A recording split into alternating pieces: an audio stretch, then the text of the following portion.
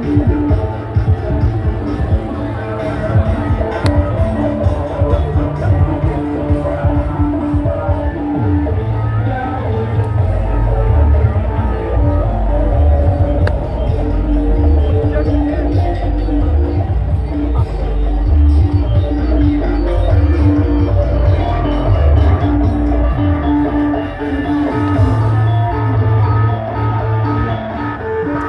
Oke teman-teman, tumpukan bata ini akan di, coba dipatahkan oleh para anggota PSHT